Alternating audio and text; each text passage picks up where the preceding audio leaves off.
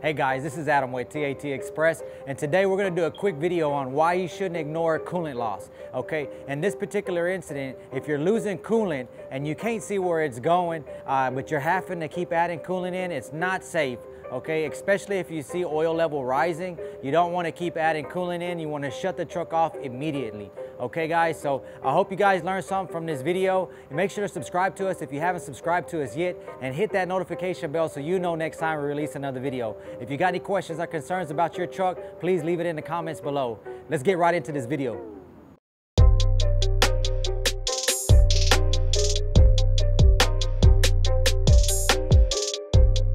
Okay, so this is the head. Now, after we pulled it, as I mentioned, what we were what we were noticing is there was tons of coolant coming out of the intake side. It was just flowing right out.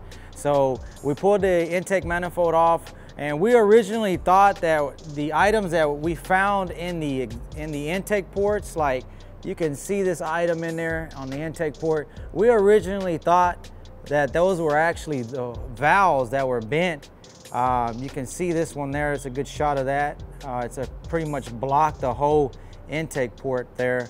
Uh, but as we inspect the bottom of the, of the head here, uh, you can still see that the valves are actually still intact.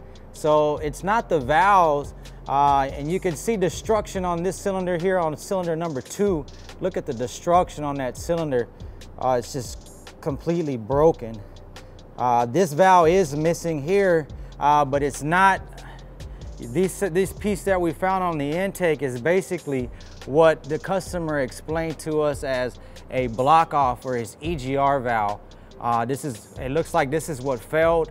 Um, we're not sure if this is what caused the coolant to start going into the cylinder, but what we believe is on cylinder number two, the cylinder was finally filled with oil, I'm sorry, with coolant, and it actually hydro locked.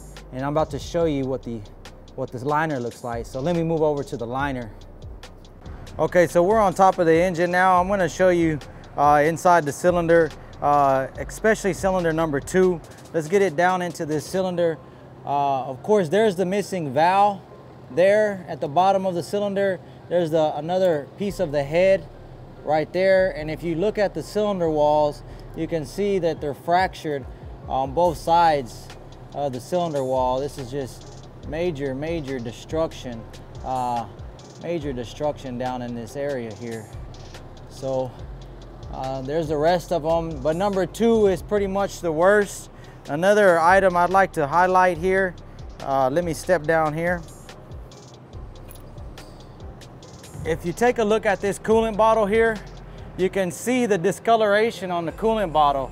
Now that's the first indication that you have something going on uh, especially if you have dark indication like that. Uh, if you're not losing oil, your oil is rising, uh, this is indication that you have uh, combustion gas going into the, into the cooling system. Uh, so keep an eye on this. This is another reason why you don't want to keep pushing these trucks if you're losing coolant. Okay guys, so again, I just wanted to do a quick video on why it's not safe to ignore coolant leaks, especially ones that are not uh, visible or not looking to be external. So don't keep adding coolant. Make sure to shut the engine down, especially if your oil level is rising. So I hope this, this video helped you guys. If you got any questions or concerns about your truck, make sure to leave us a comment below. Uh, if you haven't subscribed to us yet, subscribe to us and make sure to hit that notification bell so you know next time we release another video. So until next time, guys, be safe.